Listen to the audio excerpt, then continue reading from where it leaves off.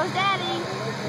Hey, once again, anybody interested in riding the mechanical bull, they're doing specials right now. Five dollars a ride down on the south end, down there underneath the apron of the uh, Two Rivers Bank building. Mechanical bull, five dollars a ride. Adam Taylor, 4430, John Deere,